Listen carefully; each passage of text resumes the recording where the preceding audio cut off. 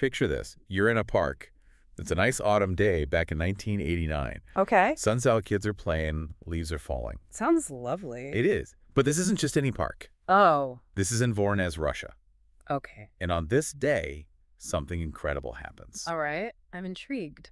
This is what many people consider one of the best documented UFO sightings. Wow. So today we're diving deep into the Voronezh incident. Okay. We're going to look at eyewitness reports, investigations, the whole thing, I'm ready. the lasting impact it had on ufology and pop culture, the whole nine yards. Let's do it. Now, what really sets Voronezh apart from some other UFO sightings is just how many people saw it.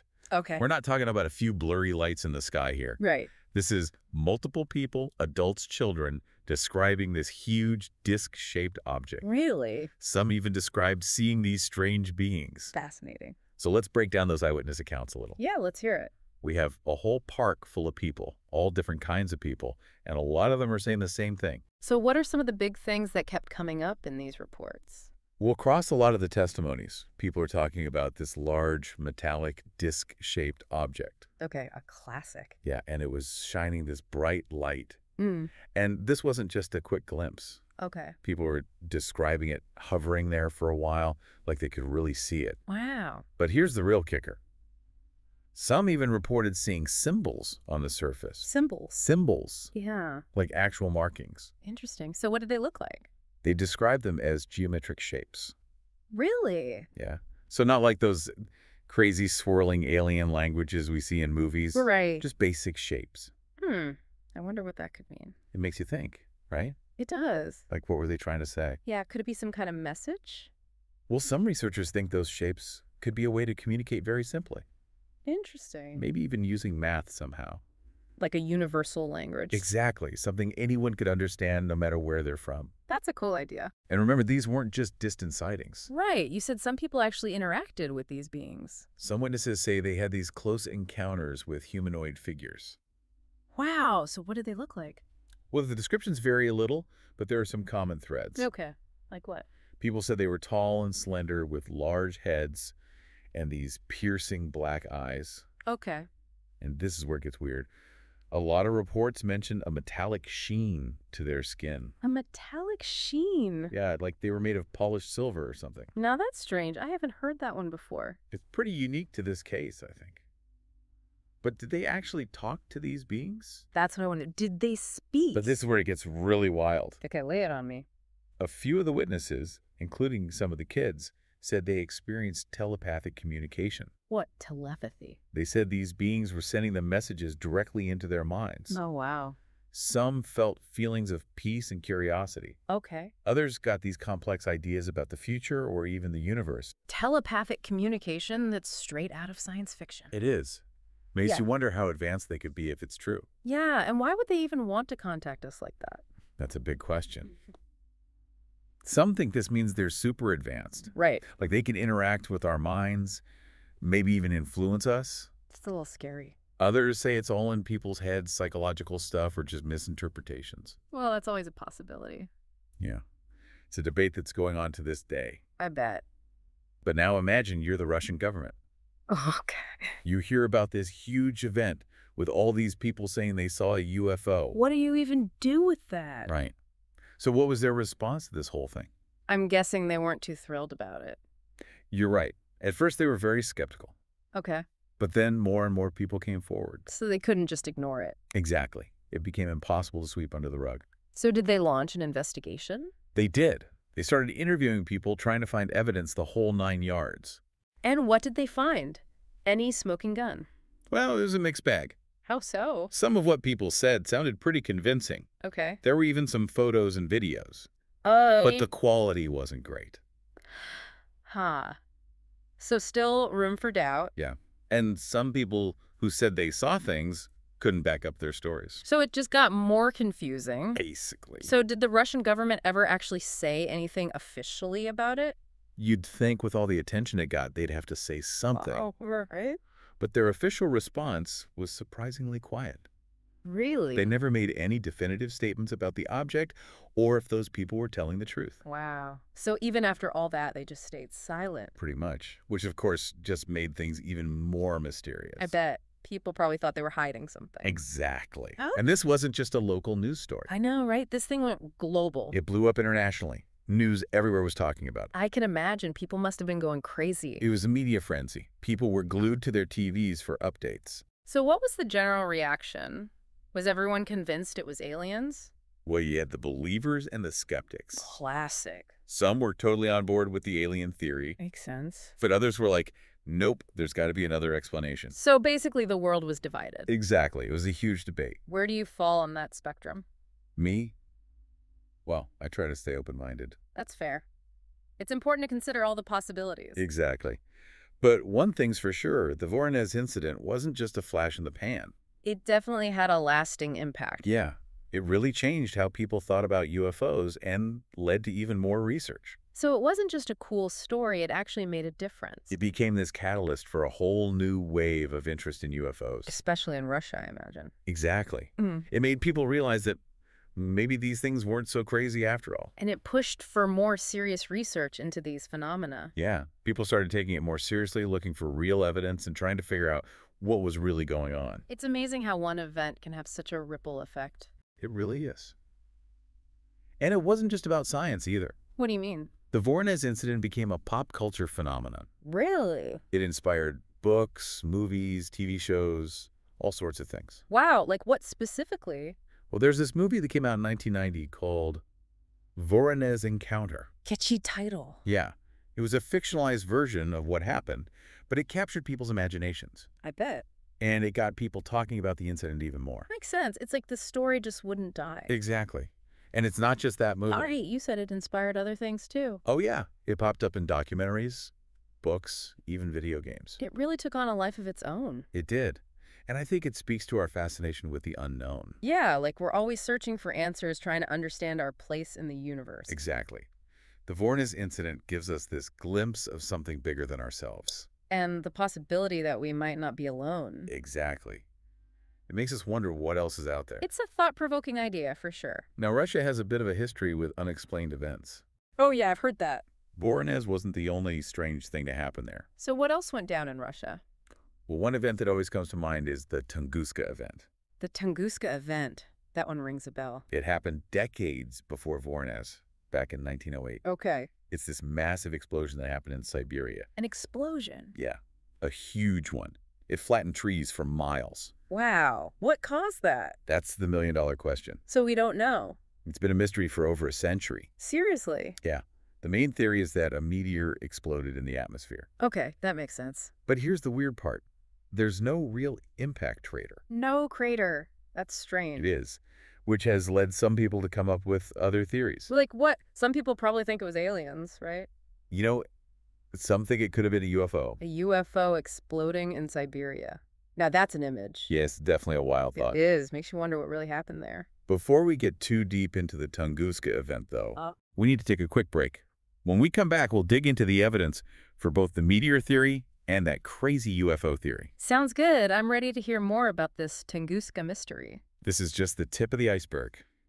Stay tuned. All right, so let's get back to this Tunguska event. Yeah, it's a real head scratcher. It is. We've got this huge explosion flattening trees for miles. Right, but no crater. No crater. So let's look at what we do know. Okay, what supports the meteor theory? Well, even though there's no crater, there are a few things that point to a meteor. Like what? First off, this event happened right when the Beta Taurids meteor shower was at its peak. Hmm. So maybe a connection there. Possibly. And then there's the stuff they found at the site. Oh, yeah, what was that? Tiny particles like melted rock and minerals. Okay. Things you'd expect to see after a meteor explodes. So like little bits of space debris. Exactly. Yeah. It's not a smoking gun, but it's something. But how do they explain no crater? That's the tricky part. It is. You'd think something that big would leave a mark. You would. But meteor folks say it's possible the object wasn't solid rock. What do you mean? They think it might have been mostly ice and dust. Ice and dust. Yeah. So when it hit the atmosphere, it basically vaporized. Oh, like it just disintegrated. Exactly. Big explosion, but no crater left behind. Interesting. So a giant ice cube from space. Basically. Makes sense, I guess. Yeah. What about the UFO side of things? What do they say? Well, they focus on things that don't quite fit with the meteor theory. Like what? Well, some people who saw it said the object changed direction in the sky. Really? A meteor wouldn't do that, Not usually. Meteors tend to follow a pretty straight path. right? So that's a bit odd. It is. And then there's the pattern of the flattened trees. Oh, no. It's mostly like a circle radiating out from the center. Okay, that makes sense. But there are some parts that don't fit that pattern. Hmm. So maybe it wasn't a random impact? That's what UFO people say. Like someone was controlling it. Or maybe it exploded at a low altitude before hitting the ground. Okay, so a controlled descent or a low-altitude explosion. Exactly. Those are some of their ideas. Anything else supporting the UFO theory? Some people claim there was more radiation and electromagnetic weirdness in the area after the event. Radiation and electromagnetic stuff. That sounds pretty sci-fi. It does, right? Like maybe some kind of advanced tech was involved? A UFO propulsion system or something? Possibly. But it's important to note that those reports aren't very reliable. Not exactly scientific. More like anecdotal evidence. So we've got these two sides, each with their own evidence and questions. Yeah. It's a real puzzle. Where do you stand on all this? It's tough to say for sure. The meteor theory is pretty convincing. Yeah, it does explain a lot. But there are those things that don't quite add up. The movement, the lack of a crater. Exactly. Yeah. It makes me wonder if there's something more to it. Maybe a really weird meteor we've never seen before. Or something else entirely. The possibilities are endless. They really are. It's exciting and frustrating all at the same time. All right, let's get back to Voronezh and those eyewitness accounts, Okay, Let's hear more about what those people saw. especially those kids. Their stories were really something. Yeah, I've heard kids can be some of the most reliable witnesses. Why is that? Well, they're less likely to make things up or be influenced by what others are saying. Makes sense. Yeah. So what did they say about the Voronezh object? Well, one thing that comes up a lot is the color. Okay, what color? They described it as red or orange. Red or orange? That's different. It is. Most UFOs are described as silver or metallic. Right. So that's pretty unique. It is. And they also said it moved in a strange way. Strange how? They said it was like it was dancing. Dancing. A dancing UFO. That's what they said. I've never heard of a UFO dancing before. What did that look like? Some said it moved really fast up and down, like bouncing. Okay. Others said it would hover, then suddenly dart off in a different direction. Like it was breaking the laws of physics. That's what it sounds like. So this wasn't just your average spaceship. It sounds like it was putting on a show. Maybe he was trying to get their attention. Who knows? Maybe he was just playing around. Alien kids joyriding in a UFO. Now, that's an interesting thought. And you know, a lot of those kids drew pictures of what they saw. I bet those are interesting. Did they draw those symbols too? Some of them did. What they look like? Mostly geometric shapes circles, triangles, squares, Like a cosmic game of Tetris. something like that. Yeah. And we still don't know what they mean. Maybe it's a secret code. Maybe someday we'll figure it out. Let's talk about those telepathic messages again. Okay. Those are always intriguing. They are. What exactly did those people say about their experience? Well, they said they felt this connection with the beings. Like a mental link. Exactly. And they got messages and feelings without any words being spoken. Wow. So pure thought. It seems that way. Some said they felt peace and calm. Okay. Others said they got complex messages about the future or the universe. Like downloading information straight from the source. Kind of. it's hard to wrap your head around. It is. What do you make of all that? Well, telepathy is one of those things that's always fascinated us. Yeah, it seems like something out of a comic book. does. And we don't really understand it scientifically. Right. It's still a big mystery. But I think it's worth considering the possibility that it could be real. Maybe there are ways to communicate that we haven't even discovered yet. Exactly. Our understanding of the universe is constantly evolving. True enough. All right, we've talked about the witnesses and those telepathic messages. Yo, what's next? Let's talk about that alleged government cover-up. Okay. The conspiracy theory angle. Yeah, that's always a popular one. It is. And in the case of Voronezh, there are some things that make you wonder. Like what? Well, for starters, the government's initial response was very dismissive. They just brushed it off. Pretty much. They said it was just misidentification or mass hysteria. But with that many witnesses, It does seem a little suspicious. it does. Like maybe they were trying to hide something. That's what some people believe. What else makes people think there was a cover-up? Well, there are reports of government officials taking photos and videos from witnesses. Really? And they never gave them back. That's what people say. They promised to return them, but they never did. Sounds like something out of a spy movie. It does, right? And that, combined with the government's silence, just adds to the suspicion. Like they were trying to control the narrative. Exactly. They wanted to keep a lid on things. But why? What would be the point of covering it up? Well, there are a few theories about that. Like what? Some think they didn't want to cause a panic. People freaking out about aliens. Exactly. It could lead to chaos. Makes sense. What else? Another theory is that they were trying to protect their own secrets. Like they thought the UFO might be from another country? Possibly. Mm, Some what- top secret tech they didn't want anyone else to know about. So either they were worried about mass panic or protecting their own advanced technology. Those are some of the main ideas. It's like a puzzle within a puzzle. It is. The more you dig, the more questions you find. Hmm. Okay, before we get too deep into conspiracy theories, let's look at the physical evidence. Right. Did anyone actually get a good picture of this UFO? That's the big question, isn't it? It is. A clear photo or video would solve a lot of mysteries. But in the case of Voronezh, it's not that simple. Not a lot to go on. What do we have? There are a few photos and video clips that people say show the UFO, but the quality is really bad. the classic blurry lights in the sky. Pretty much grainy images, blurry shapes, bad lighting, the whole works. So it's hard to tell what we're actually looking at. Exactly. It could be a UFO, a weather balloon, a bird, anything, really. The evidence is inconclusive. Unfortunately. And don't forget about those reports of the government taking people's evidence. Right, so even if there was a good photo, it might be locked away somewhere. That's a real possibility. So much for solving this mystery. It's frustrating, but it also keeps things interesting. True. All right, let's hear what the skeptics have to say. Okay, the other side of the story. What are their explanations for what happened in Voronezh? Well, they have a few ideas. Like what? One of the big ones is misidentification. Misidentification. Hmm.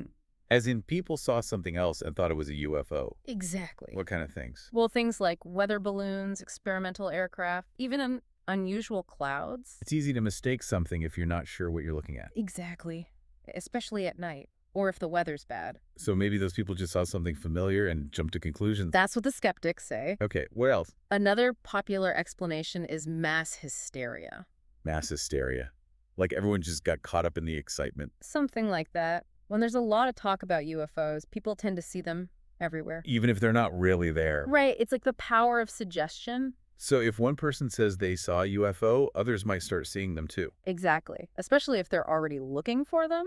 The mind can play tricks on you. It definitely can. So basically, the skeptics are saying people just got carried away. Pretty much. They saw what they wanted to see. But what about those consistent reports from all those witnesses? Well, UFO believers say that's hard to explain away. Yeah, it's not like everyone just made up the same story. Exactly. And the level of detail in some of the reports is pretty convincing. Like they couldn't have all just imagined that. right. It suggests that something real happened. So we're back to square one. Kind of. It's a case of conflicting evidence and interpretations. The believers say the evidence points to a real UFO. And the skeptics say it's all in people's heads. It's a classic UFO debate. It is. And it's one that's likely to continue for a long time. So what's the takeaway here? I think the important thing is to be open to all possibilities. Don't just dismiss everything as nonsense. Right.